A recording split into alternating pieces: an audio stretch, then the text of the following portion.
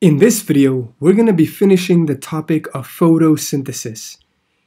In the previous video, we talked about the first part of photosynthesis, okay? We know that photosynthesis happens inside plant cells, specifically this organelle called the chloroplast, right? And the first part that we learned about in last video happens in the thylakoid, this little um, disc-like structure, okay? And it's called the light-dependent reaction okay, because it depends on sunlight. Now, the light-dependent reactions, after it happened, um, we saw that the light-dependent reaction creates two important molecules, two important products called NADPH and ATP, okay? So both of these products are created right outside of the thylakoid because the thylakoid was used, all of these structures were used, but these molecules were, were created right outside of the thylakoid. Now, right outside of the thylakoid is all these empty spaces here, okay? And these empty spaces is called the stroma, okay? Now, we're gonna take these two molecules because they're very important. Like, they were made because they're gonna be used now in the light-independent reaction, okay? They were made in this light-dependent reaction, but we're gonna take them and put them into this, this treasure chest because we're gonna use them to explain the next part of photosynthesis. Now, here we have um, uh, the chloroplast, right? But it's so crowded, so I'm gonna I'm gonna take a simplified version of it. Okay, here we have it, and we're making it a bit bigger. Okay, we made it a bit bigger, and we're gonna focus on this image here. Remember, we just said we created these two molecules, ATP and NADPH. Okay, and they were created where? Right outside of the thylakoid, okay, right outside of the thylakoid. Now, all these empty spaces that I just mentioned before, this is called the stroma. Now, these two molecules are going to be used in the light-independent reaction, okay, which is the second reaction. And the light, another name kind of for a light-independent reaction is the Calvin cycle, because that's what happens. This Calvin cycle is what's going to happen in the light-independent reaction. Now, these two molecules, ATP and NADPH, uh, is not the only things we need, okay? We need some other things. These two were made in the thylakoid during the light-dependent reaction, but there's some other molecules we need that's also going to take part in the Calvin cycle. So what are they? One will be carbon dioxide. So carbon dioxide is something we exhale, right? We exhale carbon dioxide and inhale oxygen. So the carbon dioxide that we exhale will be sucked up by plants. Okay, it will go into their cells and then into their chloroplast like this. Okay, so now it's going to hang around in the stroma. So now we've got three important molecules. Now, these three molecules are going to work together in the Calvin cycle to make glucose. Okay, because we know the purpose of the of the photosynthesis is to make glucose, and we haven't done it so far yet. The light-dependent reaction did not create any glucose for us. So that means it must happen in the Calvin cycle. So to explain the Calvin cycle, we're going to zoom into this little segment right about here, okay? We're going to zoom into this, make this real big so everything is really big and easy to understand. So let's get into that. So we zoomed in. Here we have it. We In the chloroplast, here's the um, thylakoid, and here's the Calvin cycle, which we'll explain. So where to start. We're going to start with a car. Okay, I'm going to give you a little story because this story is going to help you remember the Calvin cycle so much better. Okay, so we start off with this car on a road because this is a road, right? So here we have a car. This car is going to represent a molecule, okay, a molecule. Specifically, this molecule has five carbons in it. Okay, this molecule is made up of five carbons okay, and two phosphates, okay? So for our story, to explain the story, carbons will represent people, okay? So this car has five seats, so five people can fit in, okay?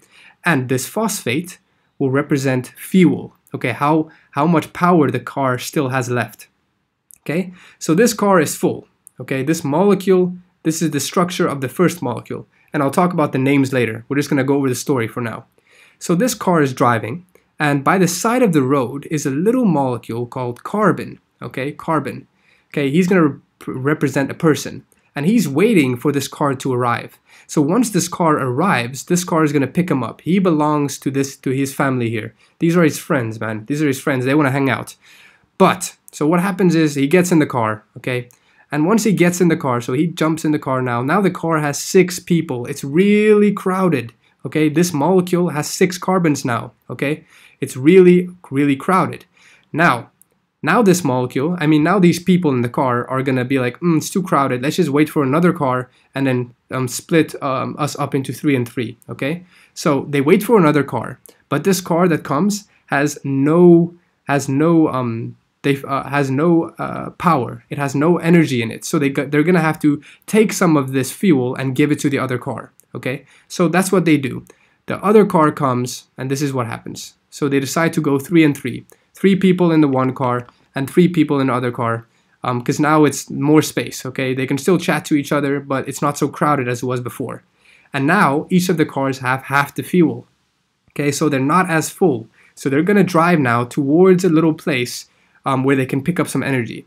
So in terms of the molecule the molecule okay? This was a molecule right? And this molecule is unstable so it decides to split apart into two identical molecules okay two identical molecules, each with three carbons. Okay, so the molecule basically split in half. Now, in terms of our story, these cars keep driving and they reach now a place, okay? Let me show you this. They reach now a place, okay, an AT, uh, uh, a gas station. Okay, this they're gonna pick up some fuel at the gas station. Okay, um, in the story, it's a gas station, but for the science, we know this gas station represents some ATP. Okay, we know ATP is a molecule that has three phosphates, one, two, and three. We can see, right? One, two, and three. Now, ATP is gonna is a molecule that's gonna transfer some phosphates to these molecules. Okay, it's gonna give them a phosphate in terms of our story, these cars are now going to get fuel. So they're going to get fuel. They're going to get full. Okay. So how do I show this? Here we go. So now these molecules picked up some fuel. Now they're full. You can see they have two phosphates. They're recharged. Okay. So when this ATP gives up its phosphate, it becomes ADP, right? It becomes ADP. Now, now we have these cars. They are fully they are they're full of fuel. Okay, these molecules are now now both have two phosphates. Now what's gonna happen is they're gonna their wheels are quite flat, so they're gonna go to a place to pump it up. Now as they drive to this place that where they can pump up their tires to so that they can continue driving, um, they run out of some fuel because this place was a bit far. Okay, so sorry.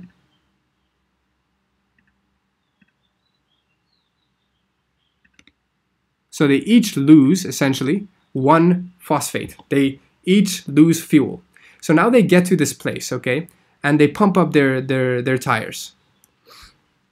Don't worry about what this is, what the purpose of this one is. I'm going to explain the purpose of this um, pumping up tires uh, stage um, very soon, okay, because it's very relevant. So now these molecules is going to go to um, is going to go to this uh, place where they're going to get pumped up their tires. So what do I mean by pump up their tires?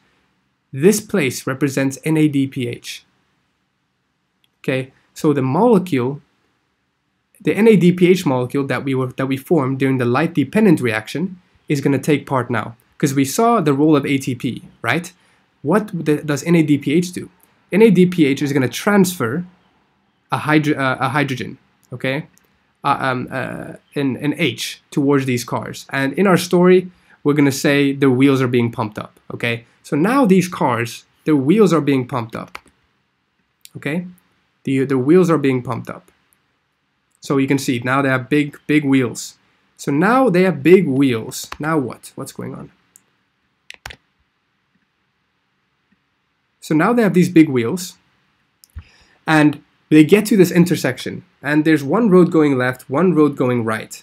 Now, what we need to remember now is that the left road is very, very uncommon to take, and the right road, so completing the cycle, is very common.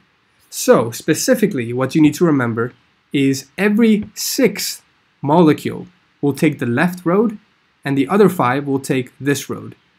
Okay, so every sixth molecule will go left and the rest will go right. So if we're talking, we're talking about one Calvin cycle here. We're only doing one cycle. We've done one cycle. So we only, only have managed to have two of these cars or two of these molecules. So if I told you just now that every sixth car okay, will take the left road and the rest will take the right road, then will any of these go left? No. Okay, both of these cars will take this road. They will go. They will go down here. Okay, because I said every sixth molecule will go left. Now, if we repeat this cycle, okay, so we do it another time. So let's do it times two. Now we will we will have had the um, from the first cycle two cars pass. Now the next cycle another two cars will come. So now it's been four cars. Will any of those two pass in here? No, because it's only been four cars. Now how about three times? If we repeat the cycle one more time, now it will be total six cars. Two from the first two from the first round, two from the second round, and two from the third round. Now, will any of those cars go left? Yes, one of them will, because that is total six cars, meaning the sixth one will go left and the first five will go right. So after three full cycles, after three full Calvin cycles, we managed to get one car here, okay? One car. We managed to get one car to turn left. Only one. The rest went right, okay? I'm not going to put um, five cars here. It's going to make everything really crowded. But after three cycles, know that we managed to get one car to, to go left and five cars to go right. Now, what happens to this car that goes left? This car that goes left is destined to form glucose. Glucose is a six carbon molecule, okay? A six carbon molecule. Um, um, that is different from this, this molecule. This is a six carbon molecule, but it's not glucose. It's the wrong molecule we need to form another kind of six carbon molecule called glucose. So this one is only three carbons. So how are we going to form glucose with only a three carbon molecule? That's right, we can't. We need another one of them. So how we how many cycles will it take to get another of these cars to come in here to take the left pathway? It's going to take another 3 cycles, right? Because if it took 3 cycles for one car to come in, it's going to take 3 more. So a total of 6 cycles will allow two of these cars to enter the left pathway, okay? So now we have two of them. After six cycles, we managed to get two of these molecules to take the left pathway. Now, these two molecules are going to combine together, okay? They're going to combine together to form glucose. So in terms of our story, this means that these two cars decided to um, find, to, to rather the, these people decided to rather get out and find a bigger car and get into that bigger car. Okay, okay. So now, here, let me show you visually. So these two molecules combine together to form a big molecule. See, this car or this molecule is stable with six carbons because it has six spots. This molecule, remember, only had five spots, so it wasn't a stable molecule. Whereas glucose is a molecule that has six spots, six carbons, and it's stable. So see, we managed to now form one glucose. It took, it took six Calvin cycles to form one glucose molecule. So that's really it. If you can remember this an, um, analogy, then you're pretty much set. All you're missing now is some names and some small other, other details. By the way, um, when these cars go down here, right, the majority of the cars that return down here, they get converted back into this molecule here, into this one the original molecule. Um, but they only get converted. You notice how they ran out of some phosphates. They get converted back into this molecule with various steps. But at the IB level, um, you don't need to know all those steps. You just need to know that ATP is required to fill up their tanks again, okay, to give them phosphates again. Because you see, this molecule here has two phosphates. So in order to turn this car back into this molecule, we need to give it some phosphates. But also, we need to give it some carbons but you don't need to know the mechanism by which it gains two carbons to form this molecule. All you need to know is it needs some ATP, okay? So this it's unfortunate, but at your level, there's a lot of details that the teachers will skip out on because you simply don't need to know them. We don't want to confuse you extra. So I'm just going to help you with this diagram that will help you remember the process a bit better. So let's get to the names. So here we have the same diagram, right? Um, but this is one cycle okay, one cycle. So we haven't done six yet. Um, doesn't matter anyways. So the first molecule is called RUBP. RUBP, okay, ribulose biphosphate. And where does the carbon come from? Remember I said there was a carbon by the side of the road? Well, guess what? It comes from carbon dioxide. Remember how I said over here that um, humans exhale carbon dioxide, right? And the plants take it up. So that's the purpose of it. The carbon dioxide that gets taken into the into the chloroplast is going to be used for this sake. Okay, so the carbon dioxide is going to donate. Oh no, wrong wrong diagram. The carbon dioxide is going to donate its carbon, okay, to form this six carbon molecule. You don't need to know this, the name of this six carbon molecule. Lucky you. Um, when this molecule splits apart into two molecules, you need to know this name. This name is called glycerate 3 phosphate. Glycerate 3 phosphate. Now, when this molecule gets filled up with some ATP, you also don't need to know that name. But when this molecule um, um, receives NAD, NADPH, when the NADPH donates uh, hydrogen, you need to know that's that step. So let me show you. Oh yeah, first of all, let's label this last one, glucose. Simple. So when the tires are pumped up, so when the molecule gets donated um, by the NADPH, it's called triose phosphate. Okay, triose phosphate. That's another name you need to know. So overall, three annoying names and then one you probably know already. Okay, so last part here. So remember how I said um, six cycles is required to make one glucose. So I'm gonna now clearly show you an image of how the Calvin cycle looks like um, if it's done six cycles. Okay, because this is the diagram the teachers typically show you. So now it will make sense. So to make six cycles happen, we need six RUBPs, not just one, like the like having one cycle. We need six. We don't just need um, one carbon dioxide, we need six. So by combining the six carbon dioxide and RUBP, we will form six of this unknown molecule. And then this molecule will split into two, each of them. And so if six molecules splits into two, how many molecules do we have? 12, right? Because each molecule got split into two. So now how many ATPs are we going to need? 12, right? Because each car or each molecule is going to get donated one ATP. Okay, one ATP will get donated. And in the process, remember, ATP gets turned into ADP. So now we have 12 of this other unknown molecule that you don't need to know. And then we get to a point, remember, where they get pumped up their tires. And in our in the real science world, that just means the hydrogens get donated from the NADPH to become NADP plus, okay? And how many of these NADPHs are we going to need? 12, because we have 12 molecules that are going to receive this H. And now remember, after six cycles, two of the cars would go down the left pathway and 10 of them would have gone down this pathway, okay? Because one in six take the left road.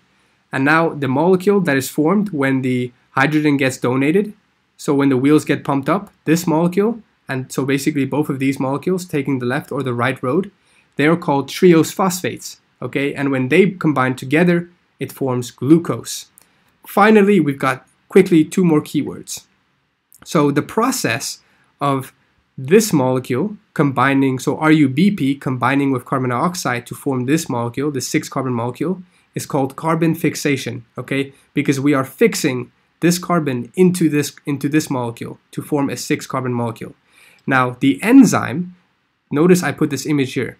This is represents an enzyme. An enzyme is something that catalyzes or allows a reaction to happen. So, it, this reaction between carbon dioxide and RUBP doesn't happen magically. It happens through an enzyme. So this enzyme called RUBP carboxylase or Rubisco is gonna is gonna allow or gonna take this carbon dioxide and shove it into this car. It's gonna be the thing that catalyzes or makes the reaction happen, okay? Without this enzyme that, um, to open or to work, this car can't be converted into this one. So is that it? Is that actually all the information? Yes, it is. So this is all you need to know. At the end of the day, know that it took six turns of the Calvin cycle to create one glucose molecule. But this wouldn't have been possible without ATP, NADPH, and carbon dioxide. NADPH and ATP came from the light dependent reaction.